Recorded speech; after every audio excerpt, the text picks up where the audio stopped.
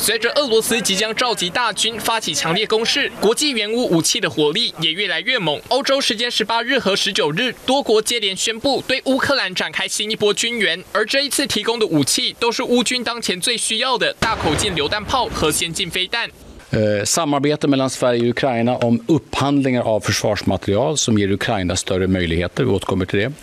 Avancerade stridsfordon från Sverige och pansarvärnsrobotar och det första beslutet för att påbörja leverans av Archer. 瑞典总理克里斯特森率先宣布一项三阶段援乌计划，第一阶段就会交付乌克兰首批瑞典国产弓箭手自走炮系统。这种先进自走炮能安装在全地形战斗车辆上，炮手能在驾驶舱内远端遥控发射，有望让乌军掌握战场优势。另外，瑞典这一份援乌清单中还包括五十辆 CV 九 零装甲车和机动反坦克飞弹。What Ukrainian Ukraine needs most is heavy weaponry to hold the initiative and stand against Russia. 波罗的海国家爱沙尼亚国防部更是大手笔宣布追加总价值一点一三亿欧元的武器援助，包括一百五十五公里口径 F H 七零以及一百二十二公里口径 D 三零榴弹炮。这也让爱沙尼亚援乌总金额占据全国 G D P 百分之一。同时间，英国也加码援乌六百枚硫磺精准空对地飞弹、多套长城火炮，还有四百多辆装甲车辆。最后，加拿大国防部也宣布提供两百辆装甲运兵车，作为杜鲁道总理。一百一十二亿元新台币援乌计划的一环。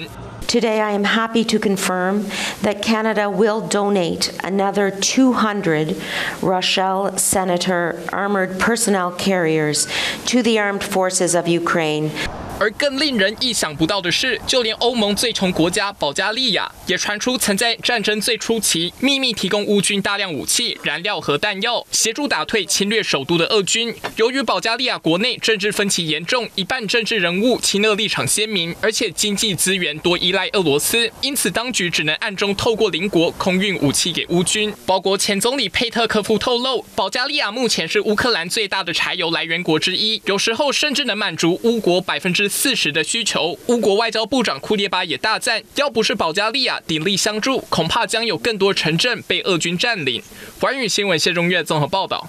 请订阅、按赞、分享环宇新闻 YouTube 频道，并开启小铃铛，及时掌握全球时事与最新趋势。